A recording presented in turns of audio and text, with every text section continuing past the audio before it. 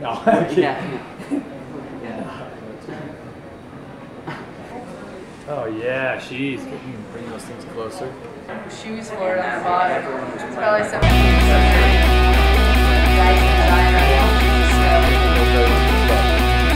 something.